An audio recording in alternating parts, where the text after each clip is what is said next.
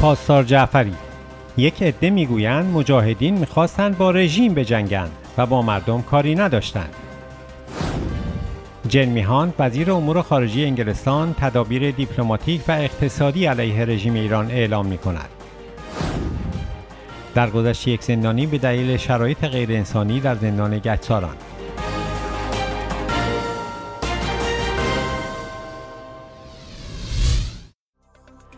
پاسدار جعفری سرکردی سابق پاسداران در اعتراف به ضرباتی که ارتش آزادی بخش ملی ایران در عملیات فروغ جاویدان در سال 67 به ماشین جنگ و سرکوب رژیم وارد کرد گفت مجاهدین از مرز اسلام آباد وارد شدند و آنجا را گرفتند.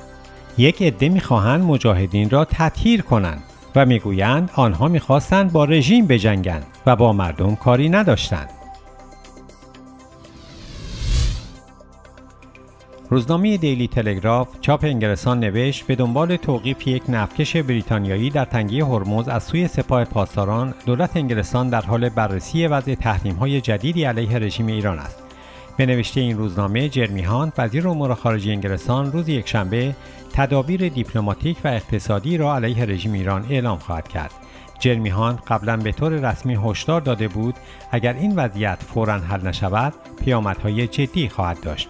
توقیف کشتی انگلستان توسط سپاه چند ساعت بعد از آن صورت گرفت که دادگاه عالی جبل الطارق توقیف نفتکش ایرانی را برای یک ماه دیگر تمدید کرد. اداره کشتیرانی انگلستان توقیف کشتی انگلیسی توسط سپاه پاسداران را نقض قوانین بین المللی دانست. باب سان گوینیتی مدیر کل اداره کشتیرانی انگلستان گفت نمودارهای منتشر شده نشان می دهد کشتی استنا ایمپرو که متعلق به سوئد است و با پرچم انگلستان سفر می کرده هنگامی که توسط پاسداران توقیف شد در آبهای عمان بوده است.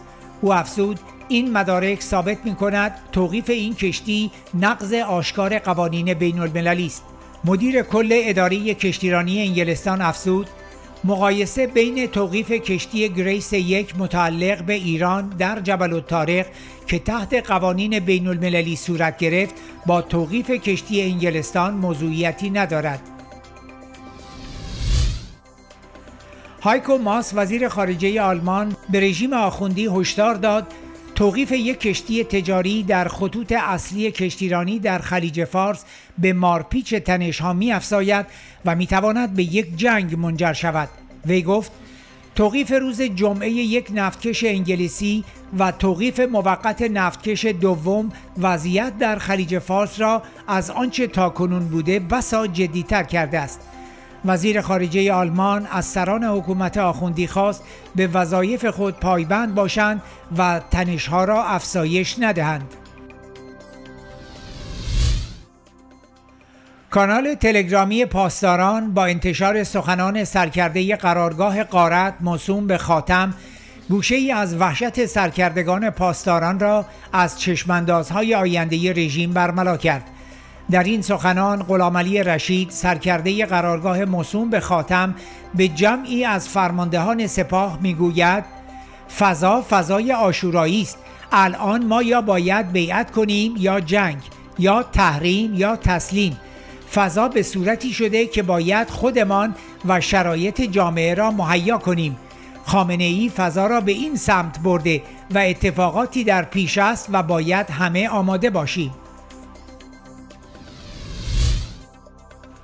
بنابر خبرهای دریافتی یک زندانی به نام مهرداد باریده به دلیل ایست قلبی و در پی عدم رسیدگی پزشکی به موقع به نارسایی قلبی و فشارهای ناشی از شرایط غیرانسانی در زندان گچساران جان سپرد.